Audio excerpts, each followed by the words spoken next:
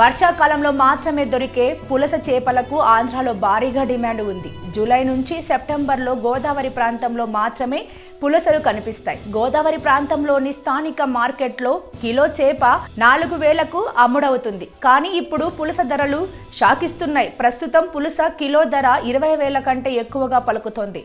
జనాలు ఎగబడి పులసలను కొనుగోలు చేస్తున్నారు.